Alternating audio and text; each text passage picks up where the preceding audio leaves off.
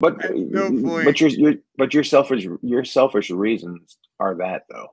Right. Like yeah. like it, it it it helps you escape. It helps them escape, and it gives you a high. Like Yeah. it, you, you there's no there's no ifs ands or buts. If you didn't get high off it, you wouldn't be doing it. Hundred percent. right? And Yeah. I'm the same way. I, I like a couple years ago, I stopped drinking.